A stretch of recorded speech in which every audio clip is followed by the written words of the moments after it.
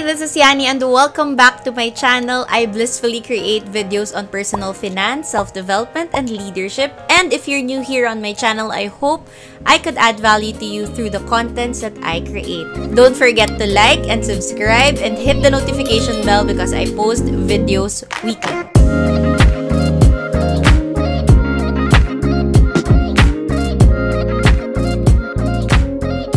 Video is all about how I manage my liquid assets or my cash, cash, cash, and cash. Just a side kwento, I really wanted to create a video about this pero naisip ko baka ako lang yung sobrang daming bank accounts. Then when I was looking for inspos on YouTube, nakita ko yung video ni Nicole Alba, one of my favorite YouTubers. Nakita ko meron din pala siya ng money system. So that's the inspo for today's video. I'm also saying hi to Nicole, one of my favorite YouTubers and definitely an inspiration for this channel. So, I hope dumating yung time na panoorin mo din yung videos ko. Pag sikat na ako like you. Yan. so, today is the day. Isisiwalat ko na ang lahat, lahat, lahat. Char.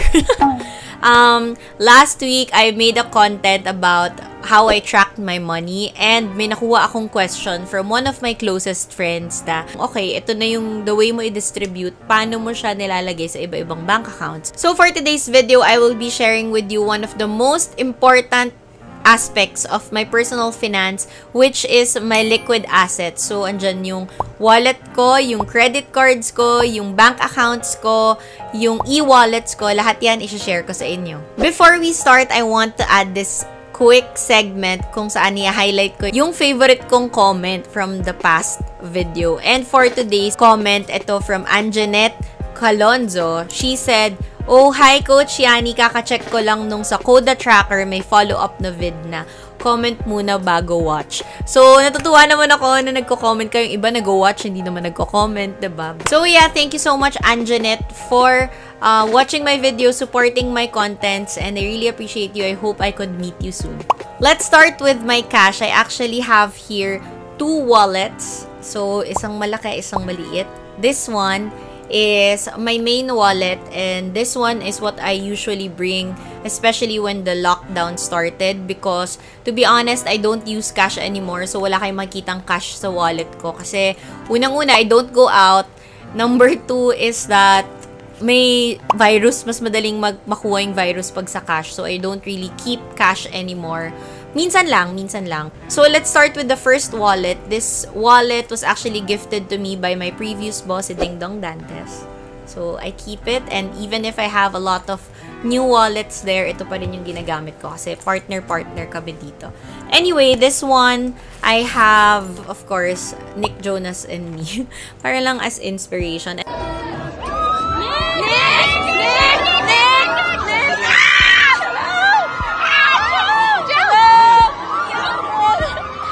And then I have all my debit cards here. I have my other credit card here sa other side. Kasi um, importante sa wallet na magkahiwalay ang debit card at credit card because ang debit card is positive and credit card is utang and negative and pag magkasama sila mahahawa yung inyong uh, debit card sa energy ng credit card. And guys, another wallet tip is dapat wala siyang mga cheche bureche sa wallet nyo. So, ako, I only have a couple of things here that you might be familiar with.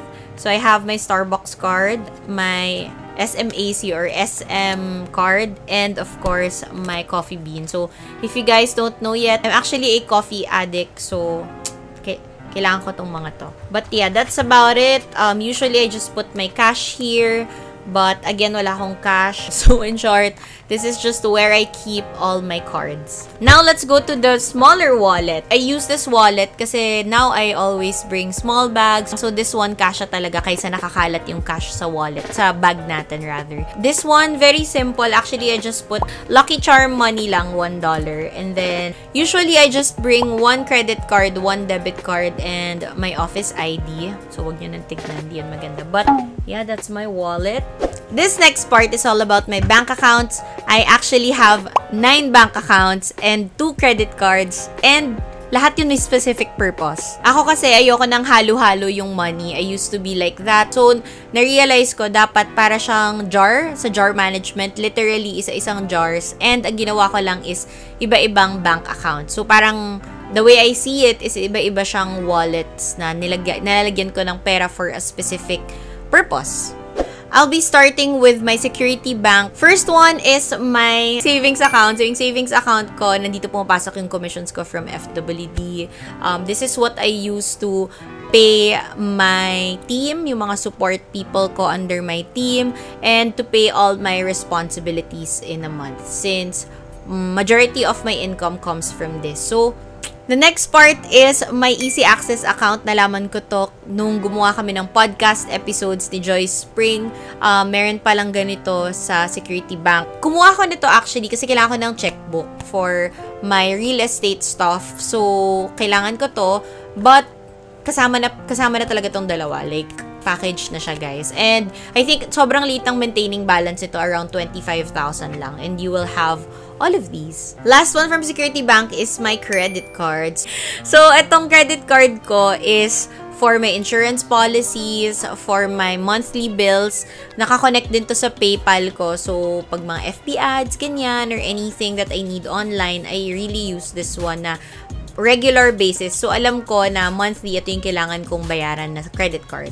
And the reason why kumuha ako ng credit card from Security Bank is for my travel purposes. Next is BDO account. So, yung BDO account ko, I have a debit card Uh, this one naman I opened before for my payroll when I was working in Yes Pinoy Foundation. So, dito yung payroll ko before. Now, I use this for my short-term goals like home improvements and also lahat ng side hustles ko, dito ko pinapalagay yung pera. So, yung mga for contents, yung mga brand collabs, lahat dito pumapasok yon because for short-term goal ko na pangbayad ng home improvement ko soon. The last account I opened before the pandemic happened. So, never ko pa to nagamit, pero mostly digital ko siya nagamit talaga. My passbook account from BDO. Inopen ko siya before the pandemic hit because supposedly ito kalalagay emergency fund ko before I had my digital bank. So, before, nandito yung emergency fund ko. Pero now, um, I'm still keeping it. I was supposed to close it this week, but I'm still keeping it because I'm opening a new business. So, dalawa yung business ko. Yung isang business ko dito ka siya ilalagay. So, kasi usually, yung mga kasama ko dun sa business is BDO din. So, sakto, dito ka na lang ilalagay. This one is the last one from BDO. I have a credit card. Um, I use it kapag lumalabas ako ngayong lockdown kasi maliit lang naman yung ano nito, credit limit nito. Pero ang maganda dito is usually may freebies o kaya may discounts kapag ka BDO yung gamit mo. Next one is from BPI. So, I have my BPI account because I opened this for my business Little Big Help kasi lahat ng business partners ko doon, um, BPI sila and yung partner namin which is Common Room PH. By the way guys, check them out on YouTube also and on Instagram, Common Room PH. And of course, my business, Little Big Help PH. So, dati dito talaga pumapasok yon But now, um, I'm gonna be transferring yon kasi it's considered as my side hustle. I'll be putting it sa isa kong BDO account which is yung pang short-term goals ko. And then this one, I will be dedicating this for another business that I'm gonna be opening. Next one is my CIMB account. So, it's a digital bank but I have three accounts dito, yung UpSave, FastSave, and GSave. So, actually, meron din akong card ni CIMB. Pinadalan nila ako. I think kapag naka 100k ka sa UpSave or kapag nag-open ka ng FastSave, meron kang card na ganito which is pag nag-withdraw kayo guys, wala siyang fee. For my UpSave account, this gives me 4% per annum na interest rate. This is where I keep my emergency fund. Just a quick background, and lagi ko naman to pinag-uusapan na um, digital banks offer higher interest rates because wala silang mga OPEX masyado and that they just operate online. So, I really maximize the interest rates that they give. Number two is Fast Save. So, yung Fast Save account ko, this one is really intended for my company which is Peridot Consulting. So, I put money there. Meron akong percentage every month that I put there para kung may mga immediate needs kami as the company, hindi ko mafe-feel na galing siya sa savings account ko but iniipon ko siya for the company. Lastly is the G-Save and I think marami naman sa inyo yung gumagamit nito. May G-Save, ma-access mo rin siya sa CIMB app pero, pwede mo rin siyang ma-access sa GCash app mo. So, for GSave, I use this for my monthly allowance. So, like, I usually buy kasi stuff on Marketplace, Shopee, Lazada. So, lahat yon nakakonect sa GCash ko para mas madali akong makapag-control um, kung magkano yung pwede kong gastusin. And lastly, I also have a Tonic um, account. My Tonic account is actually for my time deposit. So, nag-try lang ako doon because they offer 6% per annum. So, tinry ko, nung nag-open sila, naglagay ako ng time deposit. I also have a stash account, pero sobrang liit lang, guys. Like, tigpipiso lang ata or tig 100 pesos lang binigay namin doon magbabarkada. Now, let's go to my e-wallet. So, I actually have four e-wallets. The first one is GCash, and yan naman siguro yung pinaka-common sa lahat. And lahat na makakausap mo, GCash mo na lang sa akin, i-GCash mo na lang sa akin. Number two is my GrabPay. So, for all my delivery needs, GrabPay talaga from food, padala, etc.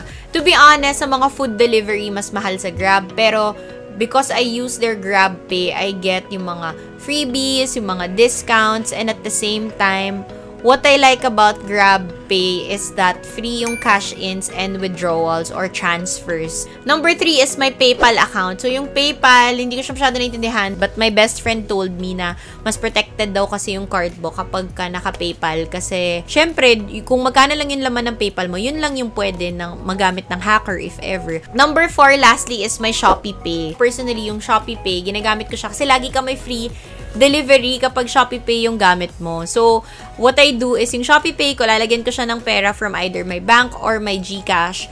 Tapos, kung magkano yung laman niya, alam ko na yun lang yung pwede kong spend sa shop. Let's now go to how I distribute my money to all my nine accounts. Yup, nine. A bulk of my income comes from my security bank account.